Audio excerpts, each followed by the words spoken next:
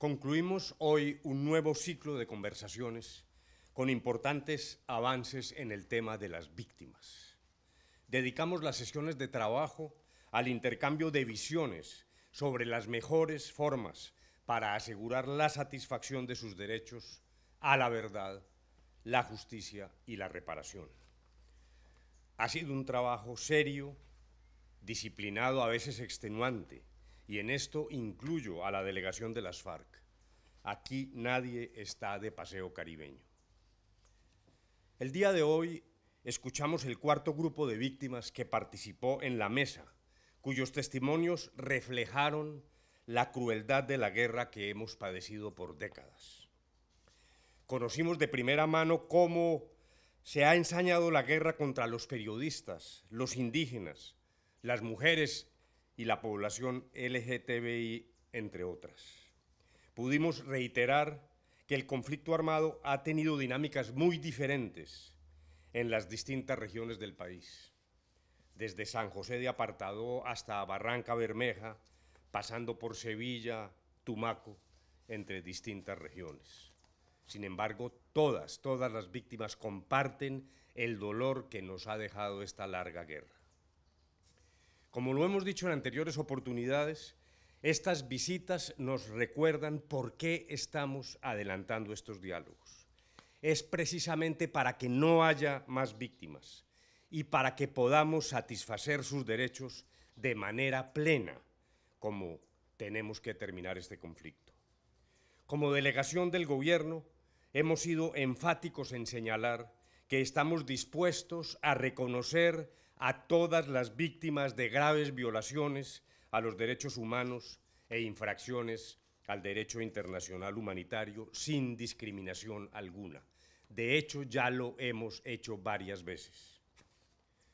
Ahora, por su lado, quisiera referirme al pronunciamiento de las FARC sobre su reconocimiento de responsabilidad.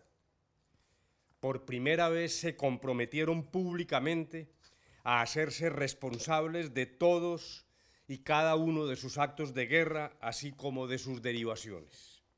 Este reconocimiento es un paso importante hacia la satisfacción plena de los derechos de las víctimas. Pero no puedo dejar de señalar que las reflexiones históricas sobre el origen y desarrollo del conflicto, o los señalamientos sobre las características y consecuencias militares de la llamada asimetría de la guerra, o la atribución de responsabilidad al adversario, la disculpa de tú también, si bien tienen cabida en el análisis, no deben ser usados por ninguno de los actores, por ninguno de los actores, para disminuir la solidez del reconocimiento de responsabilidad por graves crímenes, el cual debe ser nítido, sólido, sin contramarchas. Pasando a otro punto, no sobra recordarles a los colombianos que una cosa son las intervenciones de las FARC a través de los medios de comunicación, en las cuales dan a conocer sus ideas y propuestas, y otra los acuerdos a los que efectivamente se llega en la mesa. Hay afirmaciones que el gobierno no comparte, sin que sea necesario que se establezca una nociva negociación a través de los medios en un pugilato de afirmaciones y refutaciones que a nada conduce. Pero debe quedar claro, lo que digan las FARC no necesariamente es lo discutido y aceptado en la mesa de conversaciones. Sin embargo, hay casos que por su delicadeza, en cambio, sí requieren un pronunciamiento de nuestra parte. Por ejemplo, es importante aclararles a todos los colombianos el tema de la dejación de armas de manera definitiva y categórica. La premisa básica de todo este proceso es que una vez firmemos un acuerdo final, las FARC deberán iniciar el proceso de dejar de tener armas en su poder. Existen cientos de lecciones aprendidas en el mundo y en Colombia sobre cómo dejar las armas. Por eso, más allá de cuál sea el mecanismo que se escoja, los colombianos pueden estar seguros de que las FARC no mantendrán sus armas si se llega a un acuerdo. La dejación es un imperativo que debe conducir a que no haya una paz armada.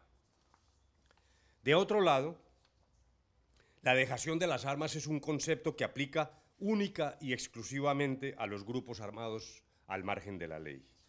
La fuerza pública, por mandato constitucional, está instituida para proteger a la población colombiana y ostenta el monopolio legal de las armas y el uso legítimo de la fuerza. Por eso, en ningún caso dejará las armas como resultado de la transición.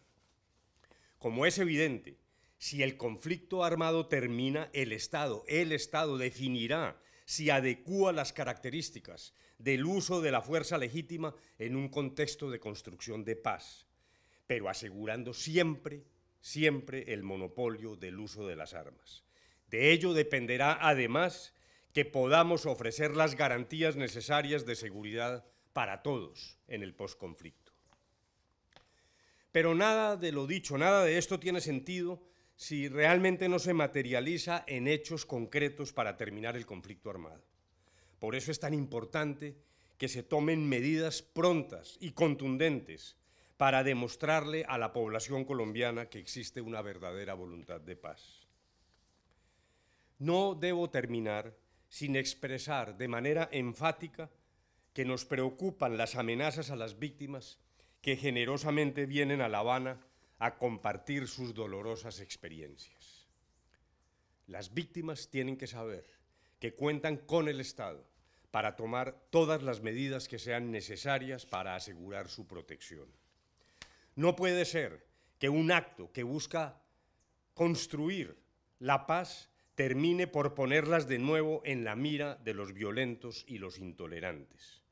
Aquí estamos tratando de ponerle fin al conflicto, pero el país deberá también hacer un esfuerzo por propiciar la inclusión y el respeto a la diferencia como valores centrales de la sociedad. Muchas gracias.